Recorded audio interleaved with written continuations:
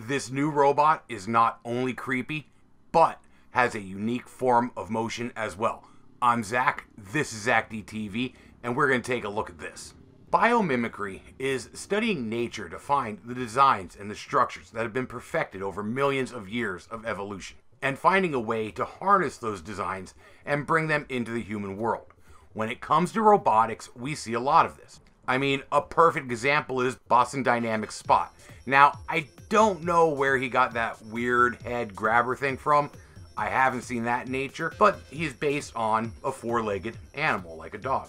We also see biomimicry when it comes to humanoid robots, like Atlas by Boston Dynamics as well. Well, Festo is a German robotics company whose main influence is nature.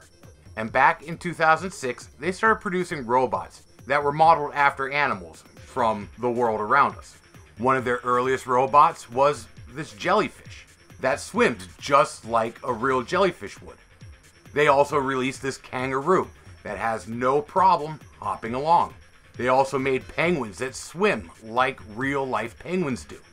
And something I found pretty amazing about this company is not only will they do aquatic versions of robots like the jellyfish or the penguin or even a stingray, but they will also make flying jellyfish and flying stingray.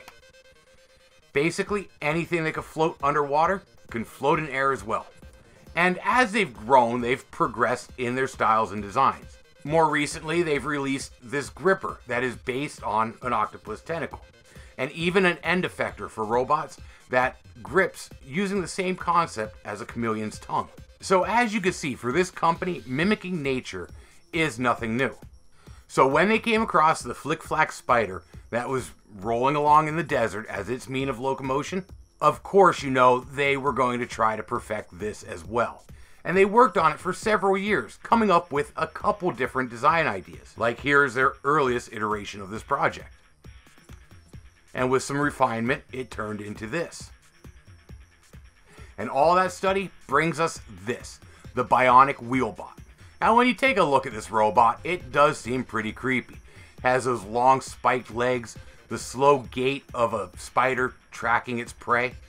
And that walking gait is important to this robot's design. By having six legs working together to get this robot where it needs to go, it can clear a lot of obstacles that other robots just can't handle. It also showcases the unique joints that were developed for this robot that allow for some very serious dexterity and increase in flexibility. But let's say walking is too slow and this robot needs to get where it needs to go. That's when it becomes a transformer. Yup, the BionicWheelBot is not just a catchy name.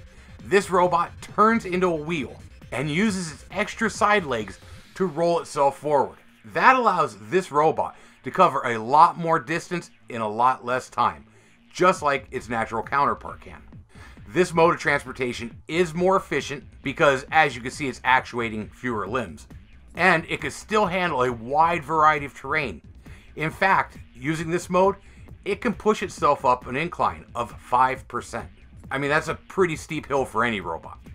Now, this robot will be unveiled publicly coming up in April, and as of right now, they don't have any plans, it seems, to sell it. It seems to really be more for demonstration of their technologies. But I will keep an eye on it, and if they ever do offer something like this for sale, I'll definitely let you know. So, what do you think? Is this the creepiest robot you've ever seen, or are there worse out there? Let me know in the comments down below. If you enjoyed this episode, make sure to click that share button, and if you're new here, hit subscribe. And also, click that little bell icon so you know when I upload something new.